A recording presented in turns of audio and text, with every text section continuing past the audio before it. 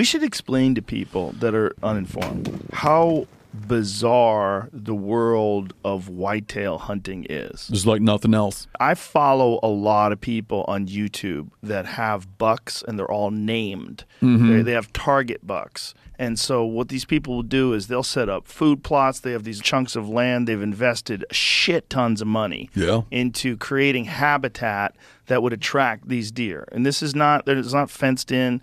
This is just wild farmland. And in this farmland, like in Kansas, and these folks will set up food plots Well, they'll grow alfalfa and apple trees and all these different things that they feel, and specifically just to attract bucks and then they set up cameras. Um, so they get photos sent to their phone, like ding, get a notification. Oh shit! So it'll be like one o'clock in the morning. Their phone dings by the bed. They'll pick it up and they'll say, "Oh my god, he's nocturnal." Oh, dude, it's the most addictive thing in the world.